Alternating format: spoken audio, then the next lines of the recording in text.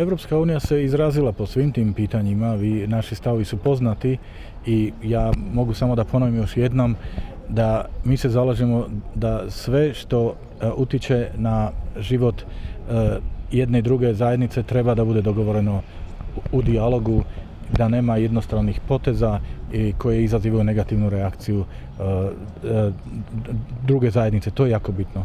Dijalog ima svoj potencijal, mi treba da ga, da ga iskoristimo. Sad imamo i plan, imamo proces normalizacije, to treba da bude prioritet.